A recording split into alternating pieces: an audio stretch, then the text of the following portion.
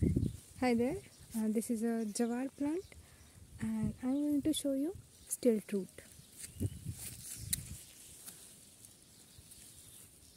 So here you can see these are stilt roots.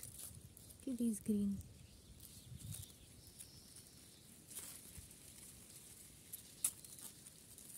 And this is a monocot plant as you can see from leaves. We can say that this is a monocot.